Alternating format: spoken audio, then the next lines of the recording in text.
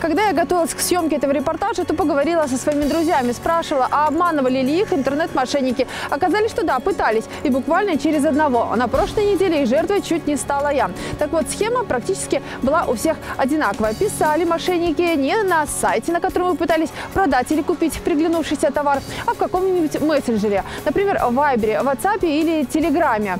Причем с номера не зарегистрировано на территории Республики Беларусь. Причем сделку просили осуществить немедленно, прям буквально минута в минуту. Так что будьте внимательны. Насколько осторожны гомельчане, спросим у них самих. Вас интернет-мошенники когда-нибудь пытались обмануть? Да, в последнее время очень часто. А вот где именно? Эм, где, где, где? На куфоре часто в последнее время. Нет. Нет? И никогда из банков не звонили, никогда не просили? Как звонили? А вы что? Ничего. Ну, я не повелся. Нет, не пытались. Ну и никогда не писали, никогда не звонили из банков вам? Нет, никогда.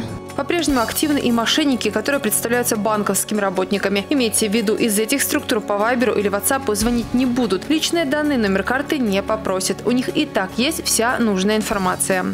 Легенда была, что с моей карточки сняты деньги. И моя ли это, мое ли это в, в этом участие было? Вот. Э, Я сказала нет, вот они сказали, надо заблокировать.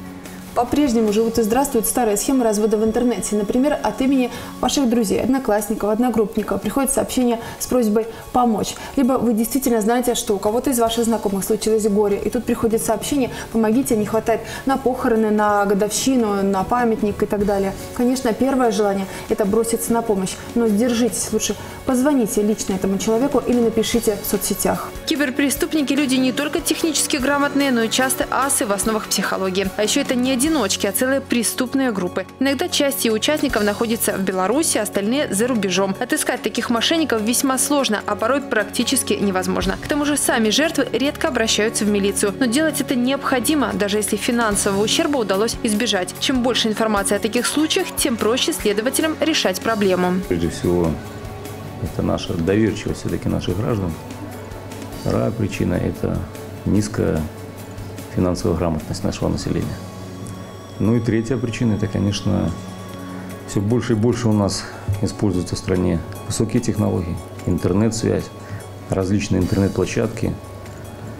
Соответственно, наши преступники тоже не стоят на месте и владеют и овладевают различными способами своих преступных действий, используя в том числе данные интернет-площадки, либо интернет-ресурс. Никогда не пересылать свои денежные средства по ссылкам, приходящих вам из телеграм-каналов, WhatsApp, вайберов.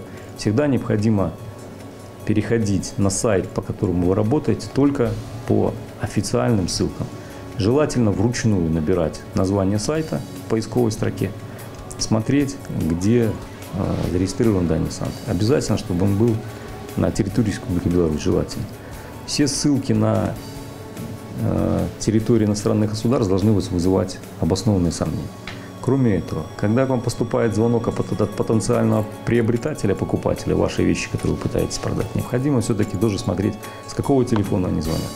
Если вам звонят, опять же, посредством Viber, необходимо тоже как-то насторожиться и попытаться убедить этого человека пообщаться с вами по обычной мобильной связи, либо желательно по стационарному телефону. Чтобы понимать, что человек находится все-таки здесь, рядом, что он не пользуется какими-то мошенническими схемами, какими-то интернет-продуктами, которые могут отослать ваш номер, либо его номер какую-то другую государство.